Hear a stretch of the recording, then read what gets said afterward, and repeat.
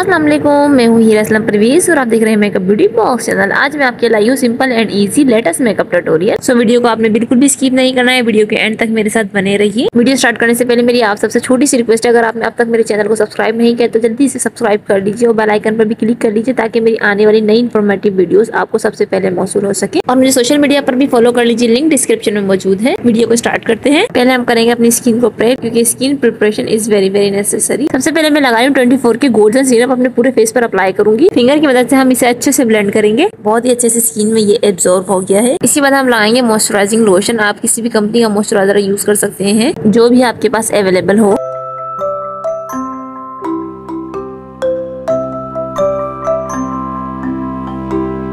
इसके बाद हम लगाएँगे प्राइमर प्राइमर में ले रही हूँ फिटमी का। अच्छे से हम अपने पूरे फेस पर प्राइमर अप्लाई करेंगे। प्राइमर अप्लाई करने के बाद हमारी स्किन बहुत ज़्यादा सॉफ्ट और स्मूथ महसूस होती है। प्राइमर हमारे ओपन पोर्स को बंद करता है। अक्सर गर्ल्स प्राइमर स्कीप कर देती है, जबकि प्राइमर हमारे लिए बहुत ज़रूरी है स्पेशली फाउंडेशन अप्लाई करने से पहले। इसके बाद हम लगाएँगे क्रिस्टाइन के कंसीलर स्टिक इसका नंबर है नाइन इसको अपने डार्क सर्कल पर अप्लाई करेंगे ताकि हमारे डार्क सर्कल हाइड हो सके मेकअप से पहले। और फिंगर की मदद से हम इसे ब्लेंड कर लेंगे। इसके बाद मैं ले लू Kashee seven tone high coverage foundation इसका शेड है सफायर फोर्टीन इसको अपनी ब्रोबोन से लगाना मैं स्टार्ट कर रही हूँ ताकि हमारी आईब्रो की जो शेप है वो नीट एंड क्लीन सी आ जाए। वेट ब्यूटी ब्लेंडर की मदद से हम जस्ट डैप डैप करके हम अपने फाउंडेशन को अच्छे से ब्लेंड कर लेंगे। इसके बाद मैं ले रही हूँ काशी सा कंसीलर इसका नंबर है टू इसको भी अप्लाई करने के बाद जस्ट डैप डैप करके हम ब्लेंड कर लेंगे। इसके बाद हम लगाएँगे Kashee compact powder number nine और ये थोड़ा पिंकी शेड में है। ब्रश मैंने लिया है जोइवा का पाउडर ब्रश पूरे फेस पर हम अपने कॉम्पैक्ट अप्लाई करेंगे अच्छे से भर भर के। और जो एक्स्ट्रा पाउडर होगा वो भी ब्रश की मदद से हम डस्ट ऑफ़ कर लेंगे। इसके बाद हम अपनी आईब्रो की शेप देंगे। इसके लिए ले रही हूँ मिस रोज का dark brown gel liner brush में लिया है। क्रिस्टाइन का, इसमें हमने वाटर ऐड कर लिया है। फ़र्स्ट पर सेंटर सेकंड पर आउटर कॉर्नर थर्ड पर हम अपनी इनर कॉर्नर बनाएँगे।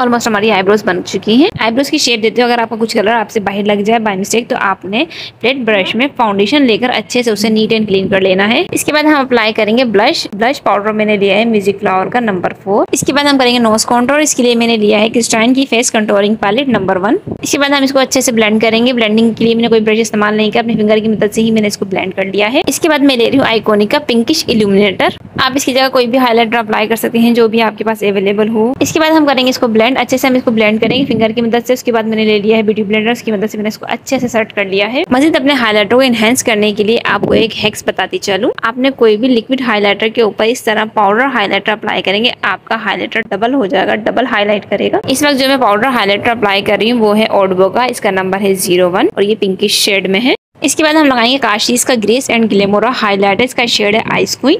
इसमें हम वाटर मिक्स करके थिक सा पेस्ट बनाकर अपनी ब्रो बोन और इनर कॉर्नर पर अप्लाई करेंगे। ब्रश की मदद से। ब्रश मैंने लिया है जोइवा का, एक छोटा सा ब्रश है ये। इसके बाद हम अपने आउटर कॉर्नर पर ट्रांसपेरेंट टेप अप्लाई करेंगे। इससे हमारी आउटर कॉर्नर बहुत नीट एंड क्लीन आएगी। इसके बाद मैं ले रही हूँ ग्लैमरस फेस की मखमली plus matte touch eye shadow palette इसमें मैंने पिक किया है मेट पर्पल कलर। इसको हम अपने आउटर कॉर्नर पर अप्लाई करेंगे। कम कम प्रोडक्ट लेकर आपने इसको अप्लाई करना है। आप कोई भी पैलेट यूज़ कर सकते हैं जो भी आपके पास आई शेडो पैलेट अवेलेबल हो। अच्छा जी मजीद अपने आउटर कॉर्नर को डार्क करने के लिए मैं सेम आई शेडो पैलेट में से मैट ब्लैक कलर अप्लाई कर रही हूँ ब्रश की मदद से। ब्रश मैंने लिया है क्रिस्टाइन का। इसके बाद सेम पैलेट में से मैंने लाइट पर्पल कलर मैंने पिक किया है। अपने आई लिड पर इसको अच्छे से ब्लेंड करूँगी। तीनों कलर हमारे आपस में मर्ज हो जाए, कोई भी हार्श लाइन ना रहे। अच्छा जी, इसके बाद हम अपने अपर क्रीज एरिया में सेम कलर अप्लाई करेंगे, जो हमने अपने आउटर कॉर्नर पर अप्लाई किए थे। फ़र्स्ट आपने ब्लैक कलर अप्लाई करना है सेकंड पर आपने डार्क पर्पल अप्लाई करना है थर्ड पर आपने लाइट पर्पल अपने अपर क्रीज एरिया में अप्लाई करना है। इसके बाद फिर इन तीनों की अच्छे से ब्लेंडिंग करने की, कोई हार्श लाइन तीनों के दरमियान ना रहे। अच्छा जी, आप वीडियो में देख सकते हैं कि मैं फुल कट क्रीज पे अपना कलर को नहीं लेकर गई हूँ। हाफ़ कट क्रीज में अपना कलर कंप्लीट कर दिया है, खत्म कर दिया है। इसके बाद फ्लेट ब्रश में फाउंडेशन लेकर हम अपने आई लिड पर कट क्रीज की शेप देंगे।